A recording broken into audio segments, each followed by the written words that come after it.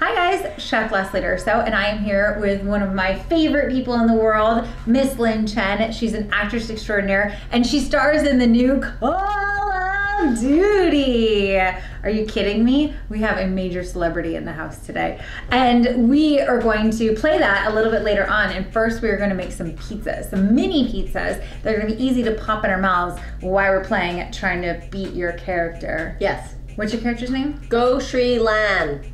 X I U L A N. That's how you pronounce Xiu Lan. What she said. Yeah. I've never played a video game before, but I've made a lot of pizza in my life, so this is going to be amazing and fabulous and fun, and it'll be a good afternoon. Um, hey, where can the folks find you on YouTube? Lynn Chen Tube. My name with the word tube at the end. Okay, we are going to start with. We cheated a little. We're gonna use Trader Joe's store-bought pizza dough. You just have to lay it on your counter for like 30 minutes before you're gonna use it. Is this all purpose flour? This is all-purpose flour. Let's use it for this purpose. Let's use it for a pizza purpose. Yeah. Now, what toppings do we have here? Okay, well, before we get to the toppings, we're gonna stick with the dough. So Okay. We've got a plain dough here that we're gonna play around with. And then we've also got the garlic herb flavor because why not? Make it a little fancy. Yeah.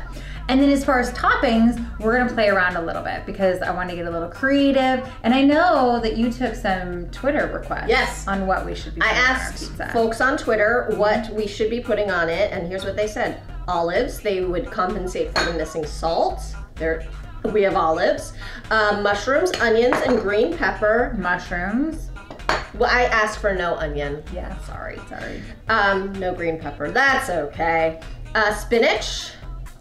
We got it. It's been sautéed. Grilled tomatoes. No. We got tomato sauce. Yeah.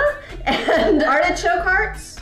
No, but what we do have is Trader Joe's artichoke antipasti, which is super tasty on its own with crackers and stuff. But this actually is really delicious on a pizza. Smells good. And then broccoli and spinach. Yes, we have it. Broccoli, spinach, basil, and while we were getting ready today, I had a little. I was looking at my ingredients and I had like a little moment, and I was like, "What if, what if we put peanut butter and jelly on a pizza?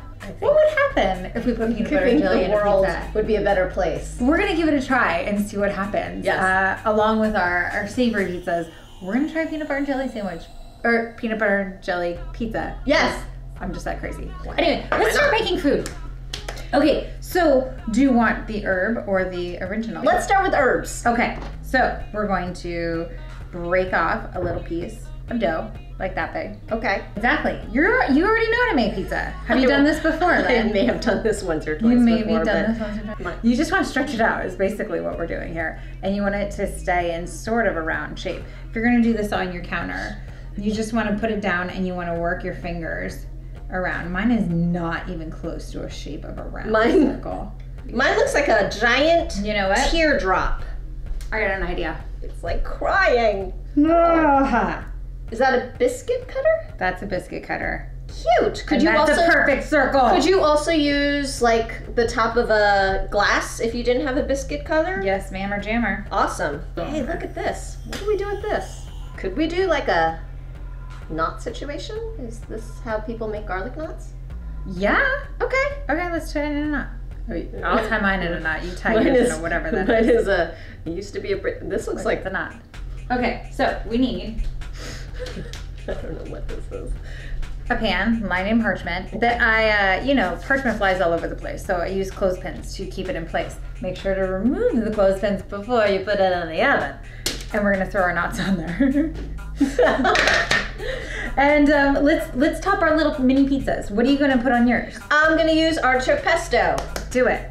Well, you use that, I'm gonna use the tomato sauce, and I'll make like a sort of a traditionally kind of one to begin with. Leaving a little border for the crust. Yes, ma'am. And the good news about these is that they're small, and so you can make a bunch of them, and you can make a whole bunch of different varieties and try a bunch of different things. You don't have to, you know. Don't load up on one little thing. Look how cute these little itty bitty mushrooms are. Now very carefully, we're gonna set our pizzas. On. Oh, you're just doing it with your hand. I just want to demonstrate that Look at you. there's two ways. They're already adorable. Aren't they? Yeah. Okay, I'm let's into make a bunch more. Let's do it.